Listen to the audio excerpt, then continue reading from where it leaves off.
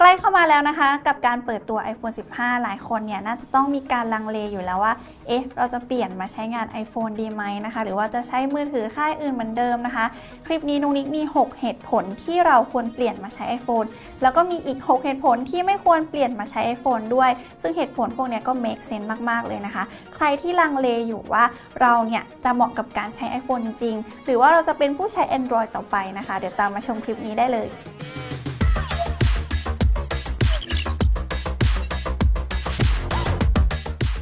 เรามาฟังเหตุผลที่เราควรเปลี่ยนมาใช้ iPhone กันดีกว่าค่ะ ข้อแรกเลยก็คือเป็นสิ่งสำคัญเลยนะ ก็คือ Ecosystem ของ Apple เนี่ยเขามีความแข็งแกร่งมาก ๆ นะคะ ถ้าเกิดว่าเราได้ใช้สินค้า Apple สักหนึ่งชิ้นแล้วเนี่ย เราจะอยากใช้ชิ้นต่อไป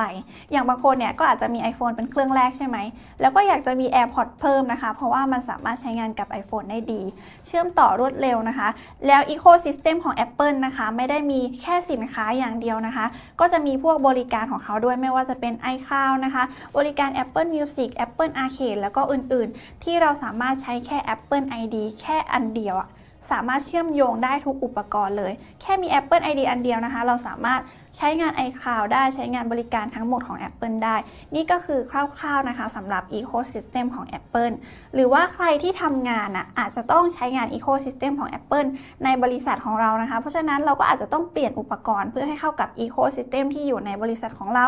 เปลี่ยนจาก พวกแล็ปท็อปไปใช้เป็น macbook ไปใช้เป็น mac ในการทำงานแทนนะคะ อันนี้ก็เป็นเรื่องของ ecosystem ที่แข็งแกร่งมาก ๆ ถ้าเกิดว่าเราคิดว่าเราโอเคกับ ecosystem ของ Apple เนี่ยก็ย้ายมาได้เลย เสริมอีกเรื่องหนึ่งนะคะ น่าจะเป็นเรื่องสำคัญที่หลาย ๆ คนใส่ใจก็คือเรื่องของสุขภาพนะคะ Apple เขาก็มี Ecosystem ที่ support เรื่องสุขภาพของเราเหมือนกัน ไม่ว่าจะเป็นการออกกำลังกายนะคะ การติดตามอาการต่าง ๆ ที่เกิดขึ้นกับร่างกาย อัตราการเต้นของหัวใจนะคะ แล้วก็อื่น ๆ อีกมากมาย เพราะฉะนั้น Ecosystem ที่เกี่ยวกับสุขภาพก็จะมี Apple Watch ไงคะซึ่ง Apple Watch เนี่ยข้อมูลนะมันก็จะมาเชื่อมโยงขึ้นใน iPhone เราสามารถดูข้อมูลต่าง ๆ ใน iPhone ด้วย แล้วก็ล่าสุดเราสามารถดูข้อมูลสุขภาพจาก iPad ได้ด้วยนะ และนี่ก็เป็น ecosystem ที่เราสามารถเห็นได้ง่าย ๆ เลยนะคะ สิ่งที่ Apple เขาใส่ใจเนี่ยก็เป็นอีกหนึ่งเหตุผลนะคะ ที่ผู้ใช้งาน Apple หรือว่าอุปกรณ์ Apple นะยังอยู่ใน ecosystem ของเขาอยู่ ข้อที่ 2 ก็คือฟีเจอร์การส่ง SMS ฟรีนะคะ ซึ่งเราจะเรียกฟีเจอร์นี้ว่า iMessage นะคะ เป็นการส่งข้อความผ่านแอปข้อความโดยตรงเลยอะโดยจะส่งฟรีถ้าเกิดว่าคนที่ส่งกับคนที่รับอะใช้งาน iPhone เหมือนกันนะคะ เหมือนเป็นการส่ง SMS ปกติอะซึ่งเราไม่ต้องโหลดแอปนอกเพิ่มนะคะ แต่ว่าคนไทยอะติดการใช้งานแอป Messenger อย่างอื่น อย่างเช่น Messenger ของ Facebook หรือว่า DM ใน IG แล้วก็ Line นะคะ อันนี้เป็นแอปนอกทั้งหมดใช่ไหมแต่จริงๆแล้ว Apple นะเขาก็มีแอปสำหรับการส่งข้อความมาให้เราก็คือแอปข้อความ ในต่างประเทศเนี่ยฮิตมาก ๆ เลยนะคะ อย่างอเมริกาเนี่ยเขาใช้งานเฉพาะ iMessage กันเลยนะ ก็คือทุกคนจะส่ง iMessage หากัน ไม่มีใครถามว่า WhatsApp อะไร Line เธอ ID อะไรนะคะ เพราะว่าเขาใช้งาน iMessage นั่นเอง แล้วก็ที่สำคัญมันฟรีด้วยถ้าเกิดว่าส่งระหว่างอุปกรณ์ของ Apple ข้อที่ 3 นะคะสำหรับคนที่ชอบเล่นเกมผ่านมือถือนะคะ อันนี้ก็เป็นสิ่งที่เราควรพิจารณาอย่างหนึ่งนะคะสำหรับการซื้อมือถือก็คือใน iOS นะคะ ในระบบ iOS หรือว่าบน iPhone และก็อุปกรณ์ของ Apple เนี่ยมักจะมีเกมที่บน Android ไม่มีให้เล่น หรือว่าอาจจะมีเกมพิเศษนะคะ ที่ค่ายเกมเขาจับมือกับเฉพาะ Apple เพื่อเอามาลงใน App Store ให้เราเล่นเท่านั้นนะคะ เพราะฉะนั้นเราสามารถเล่นเกมที่พิเศษมาก ๆ หรือว่า เกมที่เราไม่สามารถหาเล่นที่ไหนได้อะบนอุปกรณ์ของ Apple ได้ ไม่ว่าจะเป็น iPhone iPad แล้วก็ Mac ของเรานะคะ แล้วก็ Apple เขามีบริการ Apple Arcade ด้วยนะ ซึ่ง Apple Arcade เนี่ยก็จะรวมเอาเกม Arcade ที่มีความคลาสสิกแล้วก็เล่นง่ายนะคะ เล่นเพลินๆมาให้เราเล่นเป็น 2-300 เกมเลยอะซึ่งมันคุ้มมากๆเลยนะสำหรับคนเล่นเกม เหตุผลข้อที่ 4 ที่ทำให้เราสามารถตัดสินใจย้ายมาใช้งาน Ecosystem ของ Apple หรือว่าใช้งาน iPhone ใช้งานอุปกรณ์ของ Apple ได้ก็คือแอปพลิเคชันค่ะสำหรับคนที่ชอบเล่นแอปใหม่ๆ หรือว่าไม่ชอบอะไรที่จำเจ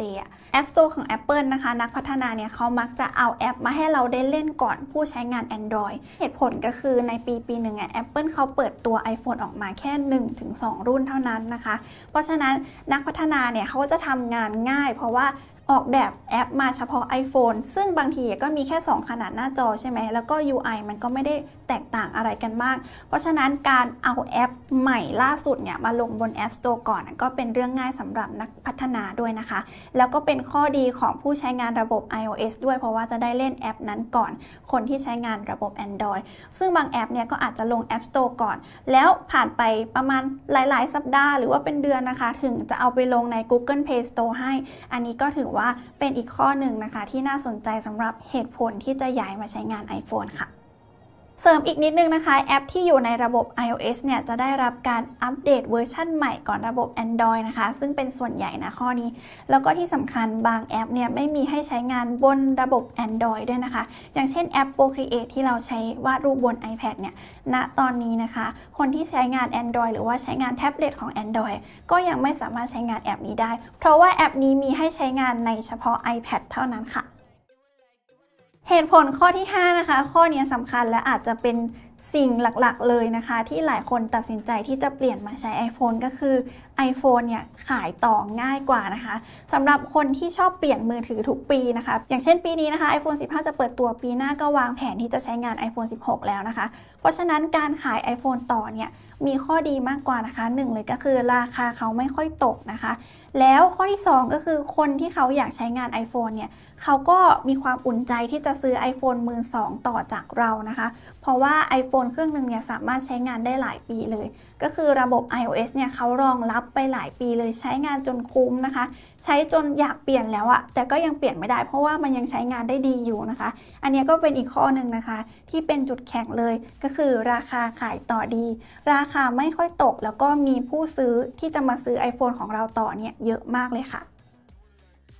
ข้อที่ 6 นะคะ เป็นจุดแข็งที่ยิ่งใหญ่มาก ๆ เลยสำหรับอุปกรณ์ Apple ก็คือความปลอดภัยของผู้ใช้นะคะ เราไม่ค่อยจะเห็นข่าวว่า iPhone ถูกแฮ็ก MacBook ถูกแฮ็ก iPad ถูกแฮ็กจากพวกมิจฉาชีพออนไลน์นะคะ เพราะว่า Apple เนี่ยเขาออกแบบ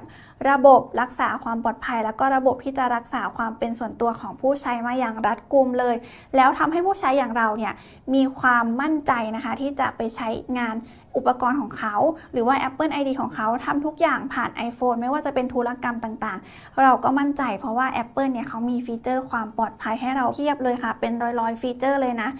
อย่างล่าสุดนะคะที่ยิ่งใหญ่มาก ๆ เลยใน iOS 16 นะคะ ก็คือแอป tracking transparency นะคะ ที่เราสามารถเลือกได้ว่าจะให้แอปเนี้ยติดตามการใช้งานของเราได้หรือไม่ ซึ่งสิ่งนี้เป็นสิ่งที่ดีมากๆ เพราะว่าผู้ใช้อย่างเราอะสามารถเลือกได้เองเลยนะคะ ว่าเราจะอนุญาตหรือไม่อนุญาต ความเป็นส่วนตัวของเราขึ้นอยู่กับเราเป็นหลักค่ะ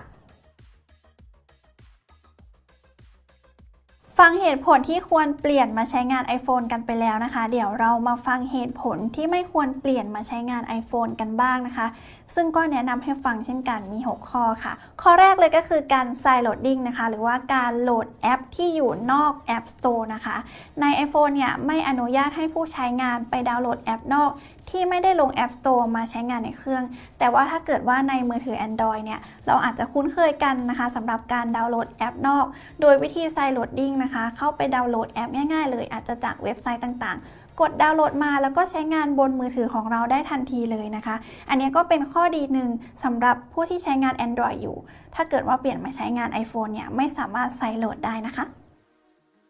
ข้อที่ 2 นะคะ widget ที่อยู่บน iPhone ณนะตอนนี้ยังสามารถโต้ตอบได้น้อยอยู่นะคะ ถึงแม้ว่าใน iOS 17 ที่ Apple เขาเพิ่งนำเสนอไปในงาน Keynote ตอนนั้นนะคะ ในงานเปิดตัว บอกว่าวิดเจ็ตที่อยู่บน iPhone เนี่ยจะสามารถโต้ตอบได้มากขึ้นทำอะไรได้มากขึ้นกว่าการโชว์ไว้เฉยๆนะคะ แต่ก็ยังไปแพ้ฝั่ง Android อยู่เพราะว่าเขาทำวิดเจ็ตมานานแล้วเนาะแล้ววิดเจ็ตเขาก็ได้รับการพัฒนามาเรื่อยๆทำให้เราสามารถ ทำอะไรกับวิดเจ็ตบนมือถือ Android ได้มากกว่านะคะสำหรับคนที่ชอบใช้งานพวกออปชันที่เสริมอยู่บนหน้าจอ ชอบใช้งาน widget ต่างๆก็อาจจะชอบมือถือ Android มากกว่าค่ะ ข้อที่ 3 ค่ะ iPhone นะตอนนี้ยังปรับแต่งตามใจเราได้น้อยอยู่นะคะ ถึงแม้ว่าจะมีการอัปเดตฟีเจอร์ใหม่ ๆ เข้ามา อย่างเช่นฟีเจอร์การปรับแต่งหน้าจอล็อกใน iOS 16 นะคะ แล้วก็ฟีเจอร์อื่นแต่ณตอนนี้ก็ยังไปแพ้ฝั่ง Android อยู่เพราะว่า ในมือถือ Android หลาย ๆ รุ่นนะคะ เราสามารถปรับแต่งหน้าจอเอาสิ่งนู้นไปไว้ตรงนี้ เอาแอปไปไว้ตรงนี้ เอาวิดเจ็ตไปวางตรงนี้ได้มากกว่า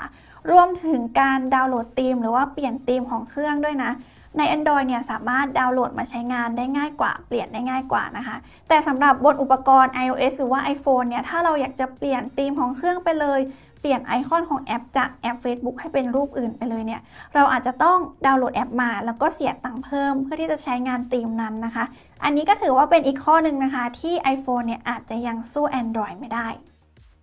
ข้อที่ 4 นะคะ มีเหตุผลที่ว่าการที่เราจะย้ายมาใช้ iPhone หรือเปลี่ยนมาใช้ iPhone เนี่ยมันเป็นเรื่องที่ยากในการถ่ายโอนข้อมูล เพราะว่ากลัวข้อมูลที่อยู่ในมือถือ Android ของเราเนี่ยจะหายข้อมูลไปไม่ครบนะคะ ซึ่งอันนี้ก็อาจจะเป็นสิ่งที่หลายคนเนี่ยใช้ในการตัดสินใจอยู่ เพราะบางคนอาจจะใช้งาน Android มาหลายปีแล้วอะตั้งแต่เด็กหรือว่าหลายสิบปีแล้วอะ พอจะเปลี่ยนมาใช้ iPhone นะคะ ก็กลัวว่าเอ้ยพอย้ายไปข้อมูลไม่ครบแล้วอันนี้จะไปหรือเปล่านะคะ จริงๆนะตอนนี้มันมีซอฟต์แวร์ที่ชื่อว่า Move to iOS มาให้เราใช้งานนะคะ เราสามารถย้ายข้อมูลจาก Android มาไว้ iPhone นะคะ ซึ่งข้อมูลพวกนั้นนะส่วนใหญ่ก็เป็นข้อมูลที่สำคัญ แล้วก็ถ้าจะพูดถึงเรื่องของการใช้งานอีเมล หรือว่า Drive ต่างๆนะคะณตอนนี้อุปกรณ์ของ Apple นะเขารองรับการใช้งานแอป Gmail หรือว่าใช้งาน Google Drive นะคะเขาก็มีแอปให้เราดาวน์โหลดไปใช้งานใน App Store เลย อันนี้ก็ไม่น่าเป็นเรื่องที่จะต้องกังวลเท่าไหร่นะคะ ก็ถือว่าเป็นการอัปเดตละกันว่าณตอนนี้การย้ายข้อมูลจาก Android มาสู่ iPhone เนี่ยไม่ใช่เรื่องยากค่ะข้อที่ 5 นะคะ ถ้าเกิดจะมาใช้งาน iPhone หรือว่าอุปกรณ์ของ Apple เนี่ย เราจะใช้ได้เฉพาะ App Store เท่านั้นนะคะ ในการซื้อหรือว่าดาวน์โหลดแอป แต่ถ้าเกิดว่าใช้งานมือถือ Android เนี่ย เราอาจจะโหลดแอปที่อยู่นอกบริการอื่น ๆ ได้ อย่างเช่นจาก Google Play Store นะคะ จาก Galaxy Store หรือว่าจาก Amazon App Store นะคะ ซึ่งก็อาจจะมีแอปให้เราเลือกมากกว่าถ้ารวม ๆ กันแล้วนะคะ แต่ Apple นะคะเขาไม่อนุญาตเลยให้เราไปดาวน์โหลดแอปจากภายนอก ซึ่งเขาก็ให้เหตุผลมาว่า เป็นเรื่องของความปลอดภัยของผู้ใช้เป็นหลักนะคะ แล้วในข้อนี้เนี่ยก็มีหลาย ๆ คนเนี่ยแอบแซะแอบแซว Apple ว่าที่ไม่อยากให้เราไปดาวน์โหลดแอปจากนอก App Store เนี่ย เพราะว่ากลัวจะเสียรายได้หรือเปล่านะคะ อันนี้ก็ไม่สามารถตอบหรือว่าคอนเฟิร์มให้ได้นะคะ ก็ลองไปคิดกันดูเล่น ๆ ละกันและก็สุดท้ายนะคะเหตุผลที่เราไม่ควรเปลี่ยนมาใช้งาน iPhone ถ้าเกิดว่าเราติดข้อนี้นะคะ ก็คือการที่เราจะเปลี่ยนมาใช้งาน Ecosystem ของ Apple เนี่ย เราอาจจะต้องจ่ายเงินเพิ่มหน่อยเพราะว่า Ecosystem ของ Apple นะคะ มีราคาที่ค่อนข้างสูงนะคะ ถ้าเกิดว่าเรื่องเงินเนี่ยเป็นเรื่องหลักของเราเลยอะ่ะอาจจะต้องพิจารณาข้อนี้เยอะๆเลยนะคะ เพราะว่า Apple เนี่ยเขาขายสินค้านะคะที่มีความพรีเมียมด้วยรูปลักษณ์ของแบรนด์วัสดุที่เขาเลือกใช้นะคะ ราคาการขายสินค้าของเขาอาจจะมีราคาที่สูงกว่าสมาร์ทโฟน หรือว่าอุปกรณ์อื่น ๆ ที่อยู่ในตลาดสมาร์ทโฟนนะคะ ซึ่งใน Android เนี่ยเขามีการแข่งขันสูงใช่ไหมเพราะว่าเขามีอยู่หลายแบรนด์เลย ไม่ว่าจะเป็นแบรนด์มือถือแบรนด์แล็ปท็อปแบรนด์แท็บเล็ตนะคะเขามีการแข่งขันสูง เพราะฉะนั้นเขาก็จะตั้งราคาที่ถูกลงนะคะ เพื่อให้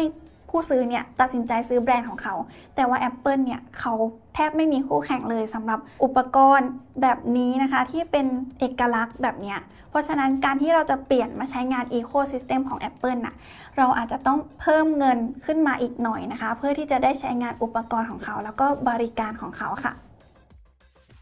จบกันไปแล้วนะคะสำหรับ 6 เหตุผลที่เราควรเปลี่ยนมาใช้งาน iPhone แล้วก็อีก 6 เหตุผลที่เราไม่ควรเปลี่ยนถ้าเกิดว่าเราติดในบางข้อนะคะนุกนิกก็มาพูดให้ฟังละอันเนี้ยทุกคนก็ลองไปตัดสินใจดูนะคะสำหรับคนที่รอใช้งาน iPhone 15 อยู่นะคะ ก็กลางเดือนกันยายนนี้ก็จะได้เห็นกันแล้วนะคะ ว่ามีสเปคยังไงมีสีอะไรให้เราใช้งานบ้างนะคะนุกนิกก็ฝากติดตามข่าวสารจากช่อง i m o d Official ด้วยนะคะสำหรับคลิปนี้นุกนิกก็ฝากกดไลค์กดแชร์แล้วก็ขอลาไปก่อนค่ะ สวัสดีค่ะ